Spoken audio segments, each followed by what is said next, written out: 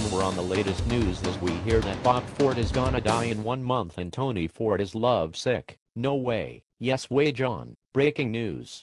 Chachi Laras has three days to die. No you're gonna die. Come on now John fuck your mother calm down. No you fuck. Okay let's go to a commercial okay leave me you motherfuckers stop your shit. Okay okay okay I'm sorry.